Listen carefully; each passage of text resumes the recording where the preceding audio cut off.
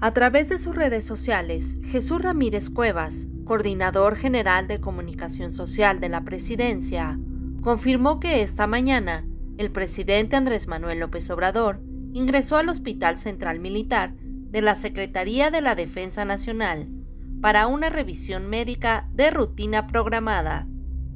Hasta este momento no se han dado más detalles sobre esta situación, que desencadenó una serie de rumores sobre el estado de salud del mandatario federal. Recordemos que el pasado 17 de enero, el presidente retomó sus actividades públicas tras recuperarse de su segundo contagio de COVID-19. Te invitamos a seguirnos en nuestras redes sociales para más información.